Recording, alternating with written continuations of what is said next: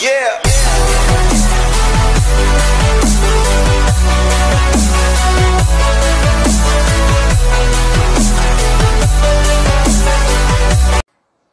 Fala nação tricolor.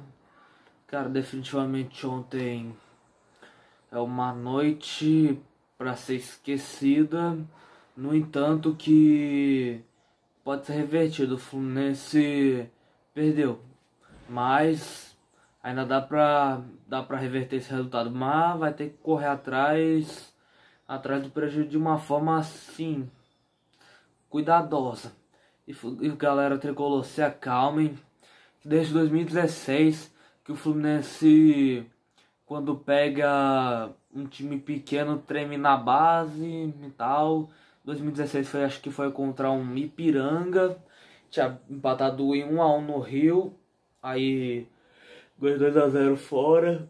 2017 acho que foi o acho que 2017, não, 2017 até onde eu lembro, o Fluminense não passou sufoco pra nenhum time. 2018 foi o Havaí, como a gente vai esquecer? Ano passado foi o Santa Cruz.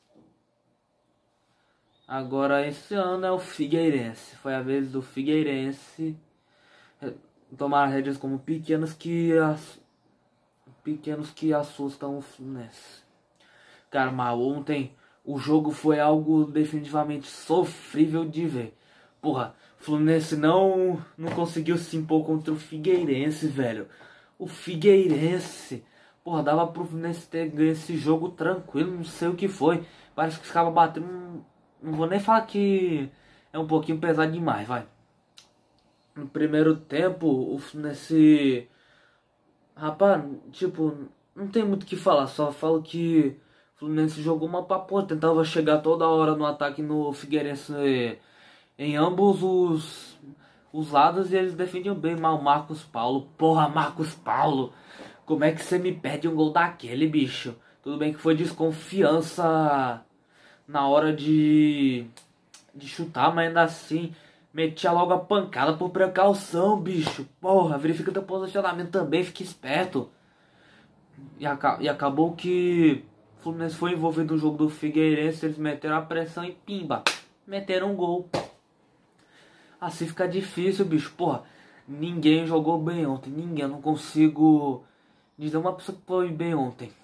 Cara, Muriel, ele até salvou a gente umas duas vezes. Nini e Matheus Ferraz também. Mas, pô, acho que um deles falhou na marcação do cara que fez o gol do, Figueirense e mais o Egídio, que também não foi bem ontem. Cara, não dá pra salvar ninguém ontem. E a arbitragem também metia 200 cartão amarelo pro Fluminense, fica difícil. Nem Hudson não jogou bem, Iago não foi bem. Nenê não foi bem, nosso ataque não foi bem. Mas, cara, se pensando na real, tá tudo errado nesse Fluminense. Sabe aquele aquele filme O Curioso Caso de Benjamin Burton? Então, tem o Curioso Caso de Odair Helman. Em que vamos aos pontos. Vamos, vamos aos pontos principais. Fernando Pacheco, que tinha ido bem no pré-olímpico pelo Peru, jogando pelo lado esquerdo. Tá jogando pelo lado direito. O Wellington Silva, que é bom no lado direito, tá jogando no esquerdo. E Marcos Paulo não é ponta.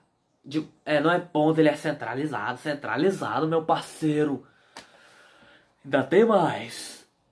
Evanilson.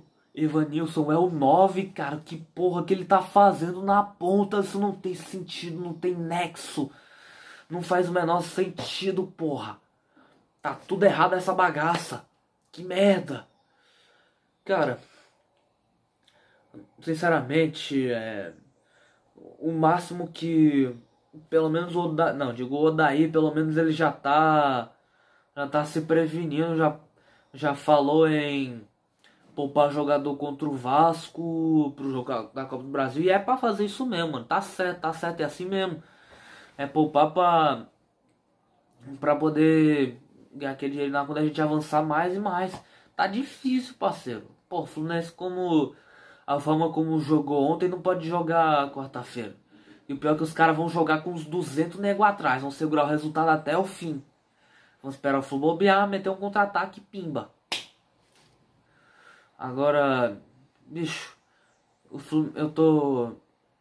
O Fluminense vai ter duas obrigações. Vai ter que vencer o clássico pra, clássico pra seguir na ponta geral e vai ter que avançar na Copa do Brasil. Pressão pra cima do Odaí. É assim que é bom mesmo, é assim bom. Que ele trabalha pressionado, já tem mais noção, ele acorda pra realidade também. Cara, sinceramente não vejo mais nada. O negócio é levantar a cabeça. E, pô, ainda tem mais. O cara que a gente perdeu de 1 a 0 no 42 do segundo tempo, quem ele coloca para dar velocidade? O Ganso. No lugar do Wellington Silva. Meu Jesus. Eu queria perguntar uma coisa pro Daí. O Michel Araújo tá comendo a filha dele? É isso mesmo? Porra! O cara não entra em um jogo, só tá assim, tá difícil, não dá. Não, bicho, o negócio é levantar a cabeça. Tudo que eu já tinha para reclamar, eu já reclamei. É bola pra frente que vem o Vasco e que a gente tenha mais atenção. Mas, tipo, também o torcedor do Fluminense é muito trouxa, cara. A gente se iludiu com as goleadas no Carioca achando que ia fazer bonito na Copa do Brasil. É outra competição, cara.